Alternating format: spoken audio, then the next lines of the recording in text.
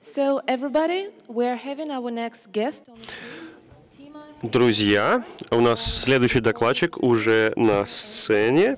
Тима Хейнеперула, который представляет Reforged Studios. А, И тема его доклада а, «Разработка движка для мобильных игр». Добро пожаловать. Да, я расскажу о том, как мы в Reforged разрабатывали свой движок. Начну с представления, а потом затем, а потом, собственно говоря, задамся вопросом, почему нужен альтернативный специально созданный движок, да? Не польз- почему бы не пользоваться уже готовыми решениями?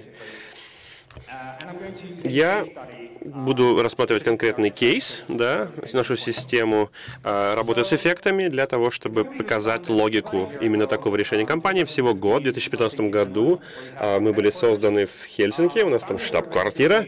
Основатели — это такие реальные ветераны индус- ветераны индустрии, люди, которые работали в StarCraft 2, Wor- World of War- Warcraft, League of Legends и так далее, да.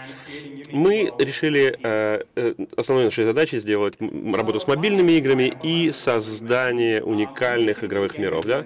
Э, я на самом деле вот реально большой не только геймер, но и большой энтузиаст э, разработки э, движков. Да, я начал программировать в 11, а движки начал делать в 14, и по сю пору меня это очень-очень радует, эта работа.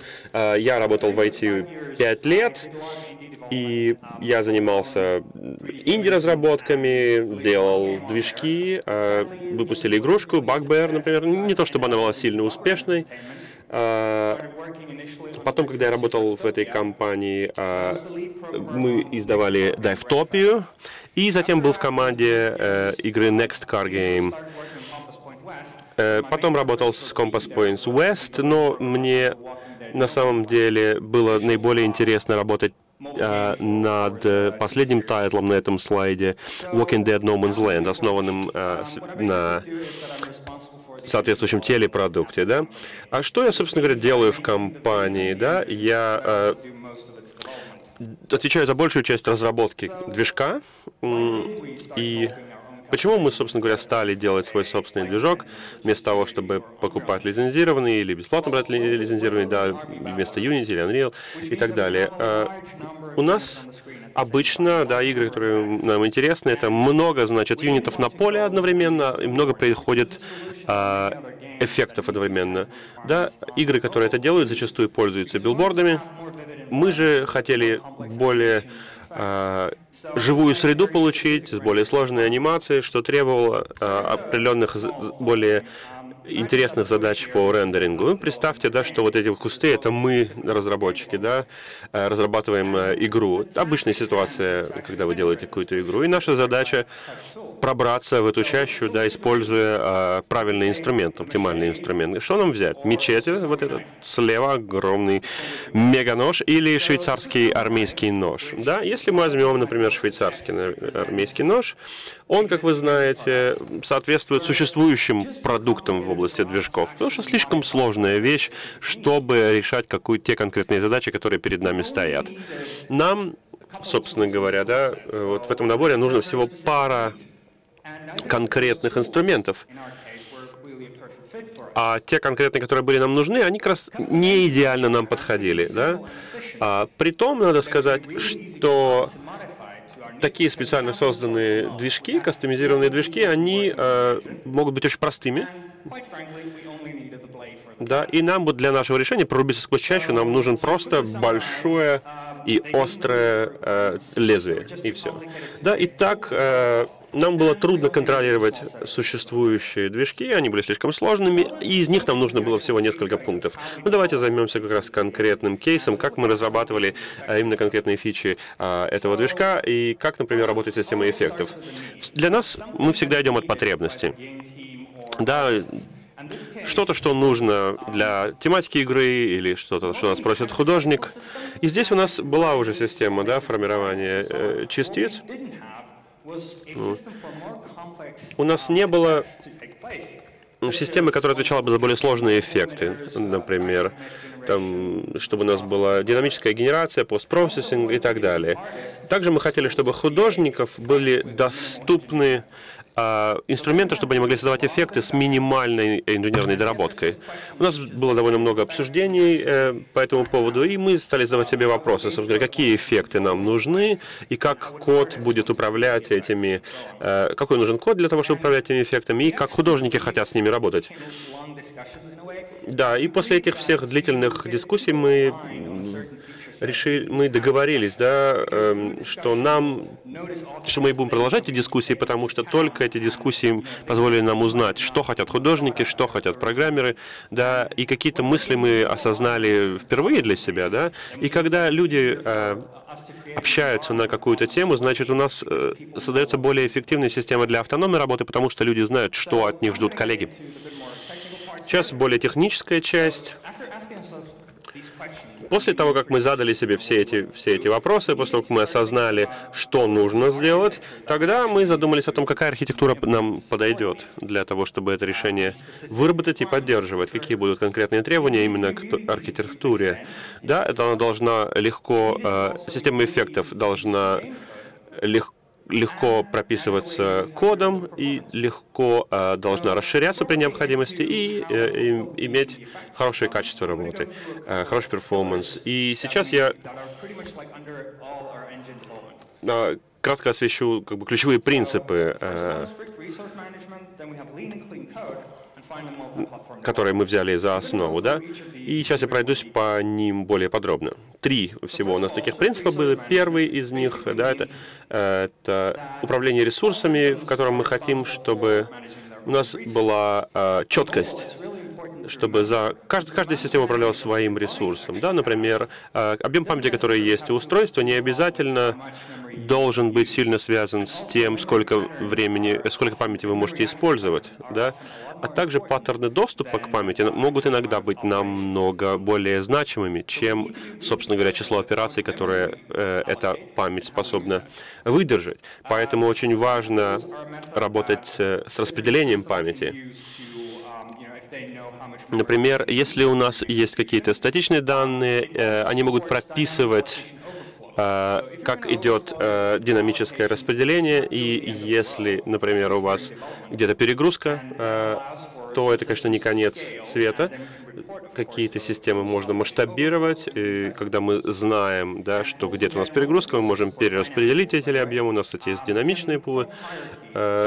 Они устроены иерархически, и благодаря этому нам проще понимать, как мы используем память, и проще систематически ей управлять. И также это минимизирует фрагментацию, потому что мы можем создавать при необходимости маленького, меньшего размера динамические, э, простите, статические пулы. Также э, у нас есть э, другой способ распределения памяти через логику конструктора и деструктора, э, распределителя объектов. Также у нас есть четко прописанная э, инициализация и деинициализация каждой системы. Да? Вторая, э, такой ключевой принцип э, — это простой чистый код. Да? Мы работаем на таком жестком C++, мы только используем те элементы C++, которые действительно какой-то осмысленный имеют э, для нас значение. Да? Мы пытаем использовать э, более простые интерфейсы. Справа вы видите, что, например, у нас в самом верху а, определена э, сразу э, объект и набор функций, да, но опять же, мы, нам не обязательно это показывать, да, поэтому можно просто работать э, с интерфейсом CSL. Почему? Потому что все э, нутро системы, да, э, объекта или класса не обязательно показывать. А что касается внедрения, как я уже говорил, да, а, описывается в CPP, а, и модификация внутренней структуры системы, она не, будет распро... не всегда будет распространяться на другие системы. Также мы пытаемся, чтобы внедрение у нас шло через небольшие взаимозаменяемые элементы, маленькие функции, маленькие макросы вместо каких-то больших крупных монолитных кусков. Это э, очень сильно повышает э, читаемость Потому что когда вы вводите новые фичи обычно, да, то вы читаете код вместо того, чтобы его писать, поэтому читабельность здесь имеет очень важное значение. Также для новых программистов э, начать работать с этим кодом и э, модифицировать и расширять его делает эту, эти задачи намного легче. Также э, мы используем э, код, который является одновременно и it's автокомментарием, да, так, чтобы просто прочтя код, можно было понятно, что происходит, вместо того, чтобы читать сопутствующую документацию и, и, э, различные описания, да. Не всегда возможно, конечно, код так оформлять. Нужна документация, но мы стараемся это минимизировать, да, делая такой а, код с автокомментарием. Также, э, работая с э, сложностью, один друг, кстати, мне сказал, он говорит, если вот ты видишь настоящую магию а, какую-то, как будто бы, да, в, э, прописанную кодом, то это, скорее всего, какая-то хитрость. Да, мы пытаемся просто очень прямо разрешать ситуации, где у нас есть сложный, запутанный код. Да. Если, например, нужно расчет э, расстояния, да, это, кстати, пример из э, реальной жизни, да, то пусть он это и делает, не нужно его э, моделировать. И, наконец, наш третий ключевой принцип — это эм, межплатформенность, да, мы у нас есть две основных э, платформы, да, э, это ось э, и Windows, а также есть Linux для того, чтобы работать на сервере, и также а, основные наши целевые платформы — это iOS и Android, да, и код должен работать на всех этих платформах. А, Мы через CMake определяем все наши проекты. Те, кто не знает, что такое CMake, это система, которая понимает тип языка кодирования. И мы определяем тип э, вне зависимости да, от э, платформы, а CMake делает уже э, версию для конкретной платформы. Также мы портируем как можно раньше, да, так чтобы и пусть оно работает на разных платформах для того, чтобы у нас была непрерывная интеграция и автоматизированное тестирование, то есть мы и юниты тестируем, но а, и а, более масштабная а, структура для тестирования существует. Сейчас я покажу, как работает, собственно говоря, наша система эффектов и как, собственно говоря, а, какие итерации мы прошли, чтобы сделать такую а, структуру. Да? А, Фронтенд представляет из себя систему драйвера, так что код модифицирует только структуру данных для того, чтобы создать а, новый эффект. Драйвер, собственно говоря, потом исполняется по отношению к этим данным, и именно драйвер отвечает за обновление эффекта. Поэтому только драйвер знает все детали того, как ему предстоит э, взаимодействовать э, с э, самим набором данных и с интерфейсов. Очень простой пример. Например, у нас есть да, данные по позиции по вращению. Да, нам нужно модифицировать эти данные. Есть драйвер, который, собственно говоря, с эффектом вращения и изменения позиции работает. Как, собственно говоря, устроены эти эффекты? Это э, набор компонентов, Э, как любая система, которая устроена из, из таких сущностей. У нас та же самая, э, тот же самый подход. Может быть, э, это модели какие-то, привязанные к эффектам, может быть, освещение, неважно, да, потому что система у нас одинаковая. И так вот, каждый компонент определяет систему, и различные единицы этой системы определяются этим компонентам, а обновление эффекта происходит по принципу компонент за компонентом, а не эффект за эффектом. Эти также составляющие единицы могут быть связаны с другими компонентами, и обычно у них есть как минимум одна зависимость. Они могут э, быть связаны через IP, а может быть через их принадлежность к, к тому или иному конкретному эффекту или элементу. А, Запросы посылаются в системы компонентам, и ID у нас глобальные, поэтому мы можем собирать эффекты в любые элементы, как нам понравится, потому что мы можем всегда запросить э, другие компоненты с их э, глобальными ID. Очень простой пример здесь, как мы сделаем, я не знаю, очень простой эффект для какой-то частицы. Например, мы вот у нас есть э, компонент, который э, испускает эти частицы, да, и компонент, который это транс трансформирует. И когда драйвер запускается, то, как я уже сказал, система эффектов у нас сперва драйвер обновляет положение и вращение ком компонента трансформации, и затем, собственно говоря, а, э, компонент, который производит частицы, э, с учетом э, этих изменений уже, уже запускается. Да? Это, э, поскольку это основано на данных, то, то художникам проще создавать новые эффекты, да, создавать инструменты, которыми они будут пользоваться. То, что все основано на драйверах, да, мы дает нам намного, требует от нас намного меньше кодирования. Сами эффекты да, они делаются по методу э, с, комбинируй и побеждай. И это дает, делает очень простую структуру для всех эффектов.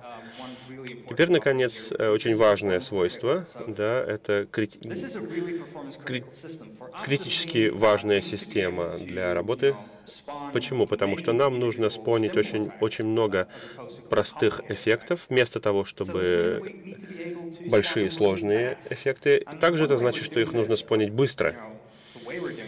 И как мы это делаем? Да, мы делаем шаблоны, шаблоны, связанные с определениями. Когда эффект делается впервые, то мы на его основе делаем шаблон, который а, там есть уже загруженная какая-то информация по мешам.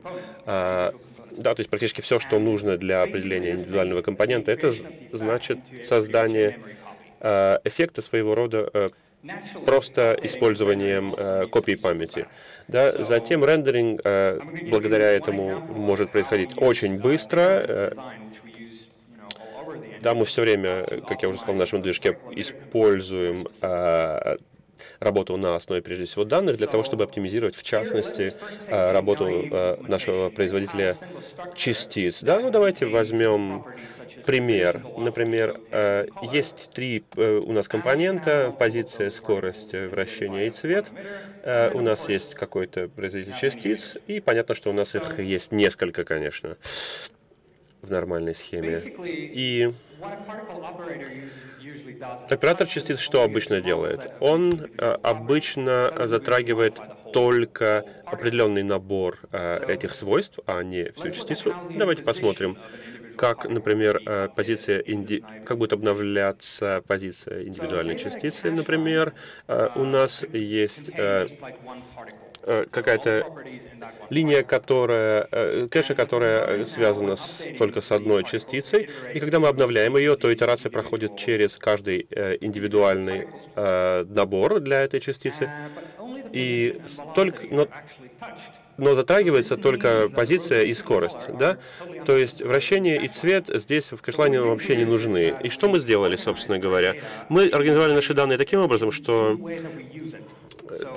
соответствует тому, как мы используем, собственно говоря, да, поскольку нам нужен доступ только к конкретным э, качествам, поэтому мы сгруппировали их такой вот логике, так, чтобы мы могли использовать э, теорию другое качество отдельно. И теперь, когда мы делаем обновле обновление, то мы, собственно говоря, для этого примера только э, затрагиваем э, позицию и скорость, да, так, чтобы у нас не было кэшлайнов э, с ненужными данными.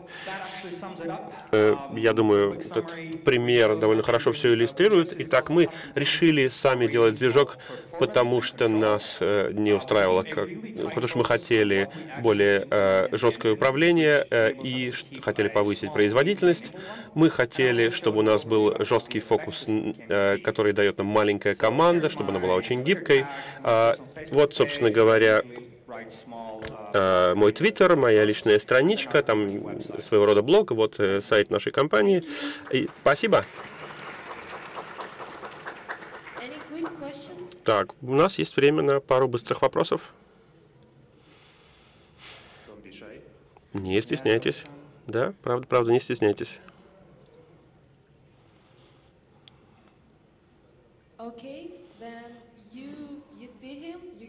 Ну, ладно, ребят, смотрите, докладчик э, остается с нами. Пожалуйста, если вопросы к Тима появятся, то задавайте. Спасибо, было интересно.